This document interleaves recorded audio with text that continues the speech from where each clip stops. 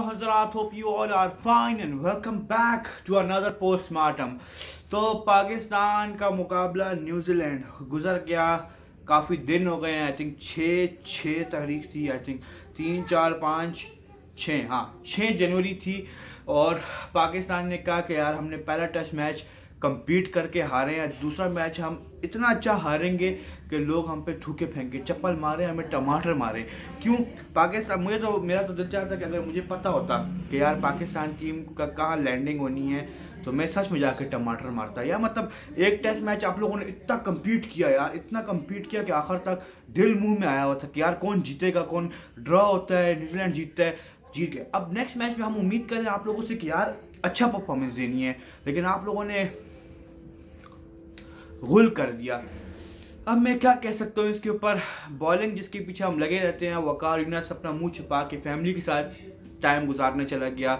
अब उसको ये आइडिया नहीं है, वो कहेगा, यार, मैं तो अवेलेबल नहीं था। मैं तो कहता हूँ कि दोनों हेड कोच को भी हटाओ वकार यूनस बॉलिंग कोच को भी हटाओ। They are just wasting our time हमारा टाइम ज़ाया कर रहे हैं।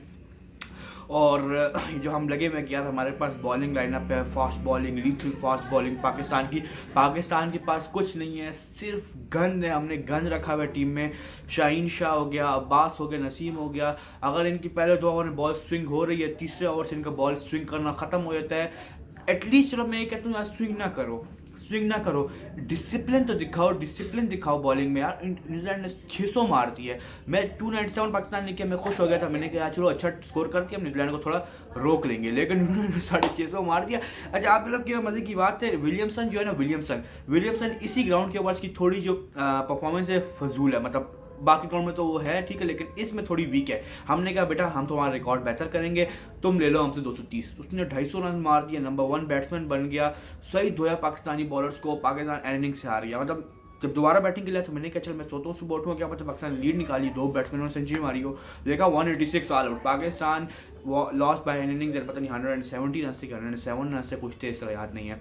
तो पाकिस्तान सीरीज़ हार गया, वापस पाकिस्तान पहुँचने वाला है। और पहुँच गया होगा बल्कि। अब साउथ अफ्रीका सीरीज़ आने वाली है। साउथ अफ्रीका वहाँ से श्रीलंका को टू ज़ीरो हरा के आया हुआ है। हमसे न्यूजीलैंड से टू ज़ीरो हार के जाएँगे। देखते हैं क्या होता है। छब्बीस फरवरी को पता चलेगा होता क्या है। पाकिस्तान मैच हार गया है बहुत बुरे तरीके से।